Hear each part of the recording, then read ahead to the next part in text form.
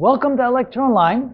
Now we're going to take a look at an interesting example. It's called charging a battery. You know, we have a lot of rechargeable batteries in our phones and all kinds of appliances. And so how do we figure out how long it takes for the charge to replenish itself when we plug in the battery? And typically the charge on a battery will go as follows. Initially it will charge very quickly, but then the charge, the rate at which it gets charged diminishes, and eventually it seems to almost take forever to reach 100% of the full charge. And in theory, of course, it takes forever to reach that point. In practicality, when you're 99% charged, you really don't care about the other 1%. You could pretty well say, my battery is fully charged. So the equation we use for that is the equation as follows. The time that it takes is equal to some negative constant times the natural log of 1 minus c over c sub f. c sub f is the final charge that you want to reach, and c is the charge that it has at any as a function of time.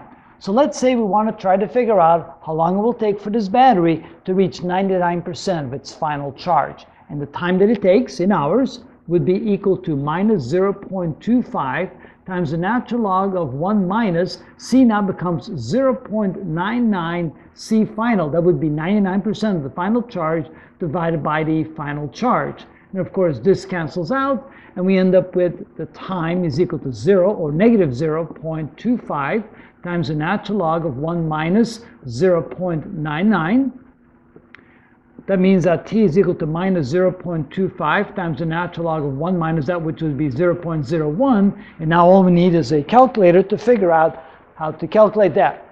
Okay, the natural log of 0.01, we multiply that times 0.25 negative, and we get a total time of 1.15 hours.